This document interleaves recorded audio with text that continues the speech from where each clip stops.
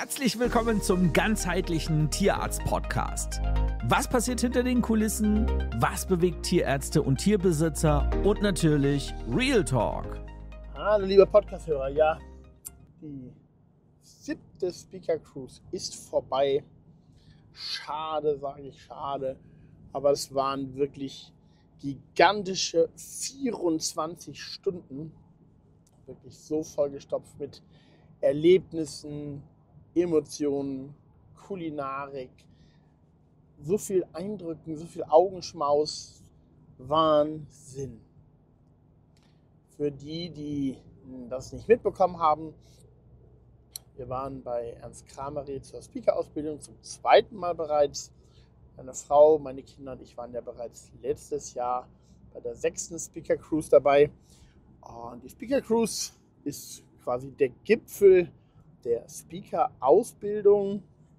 Speaker Neudeutsch, Sprecher, Vortragender, der auf eine große Bühne geht, dort einen Vortrag hält und natürlich am besten kein PowerPoint, kein betreutes Vorlesen, sondern wirklich komplett frei.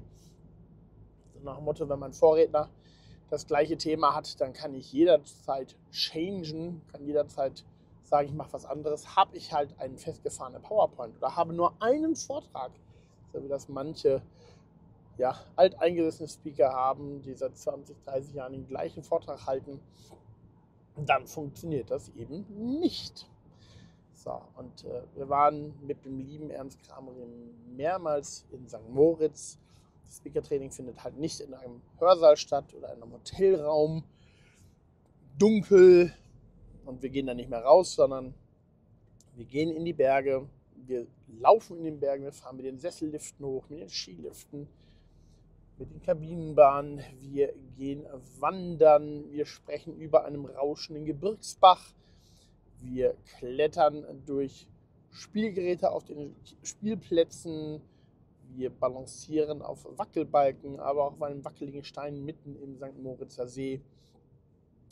Also immer und alles raus aus der Komfortzone, weil egal was dann auf der Bühne passiert, es schockt dich nicht mehr, weil du hast schon so oft deine Komfortzone verlassen, hast währenddessen weitergesprochen, singend den Berg runtergelaufen oder rauf.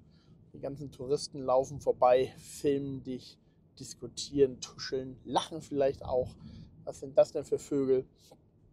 Aber all das bringt dich immer weiter raus aus der Komfortzone und ja, bewirkt, dass du mit deiner Stimme spielen kannst, dass du sehr laut sprechen kannst, aber auch sehr leise, um Dinge zu betonen. Deine Gestik, deine Mimik, deine ganze Aura, deine ganze Ausstrahlung wird trainiert. Und das ist einfach so gigantisch und sucht seinesgleichen in Ausbildungen zum Speaker. Ja, ein Dreiviertel der Vorbereitungszeit. Dann gipfelte es im letzten Wochenende, ja, jetzt haben wir gerade Mitte November, also letztes Wochenende, darin, dass der liebe Ernst dann immer ein Fünf-Sterne-Flusskreuzfahrtschiff auf dem Rhein schart hat. Das dann natürlich Mitte November schon super, super weihnachtlich geschmückt ist. Wirklich absolut magische Atmosphäre. Diese fünf, Kreuz, fünf Sterne Kreuzfahrtschiffe sehen wirklich aus wie ein schwimmendes Fünf-Sterne-Hotel. Es ist absolut gigantisch. Wirklich sehr freundliches Personal. Und dann ist es so perfekt durchgetaktet und organisiert. Das heißt, wir Speaker waren schon einen Tag vorher an Bord, nochmal Generalproben gemacht. Schon mal, wie man auf die Bühne geht, wie alles aussieht, dass man ein bisschen vertraut wird schon mit der Situation. Ja, dann nächsten Tag, Samstagmittag um 12 Uhr Live-Musik im Foyer. Die Gäste kommen einzeln an Bord, werden begrüßt, werden fotografiert, checken ihre Zimmer ein. Die Concierge bringen die Gäste mit ihrem Gepäck aufs Zimmer zum Einchecken. Dann gab es erstmal ein wirklich geniales fünf Sterne Mittagessen, fünf Sterne Lunch, wirklich ein gigantisches Menü und vor allen Dingen auch immer on point und das für weit über 100 Gäste mit der Problematik eines Schiffes, dass man natürlich dort räumlich, platzmäßig sehr, sehr eingeschränkt ist. Und das dort so in dieser Qualität und dieser Perfektion hinzubekommen, ist absolut gigantisch in meinen Augen. Dann fing es an mit den ersten Speaker-Slots. Die ersten Speaker gingen auf die Bühne, teils begleitet von Live-Musik. Wir hatten einen fulminanten Redner, einen fulminanten Moderator, den lieben Christoph Grun, den ich schon sehr häufig habe moderieren sehen, der wirklich das aber absolut genial macht. Und Ernst hat da wirklich wieder ein absolutes Händchen für sowohl die Gäste als auch für den Staff und ja, alle begleitenden Personen gehabt. Also der Moderator war wirklich Sensation. Dann hatten wir drei große Slots, wo dann entsprechend immer vier, fünf Speaker aufgetreten sind.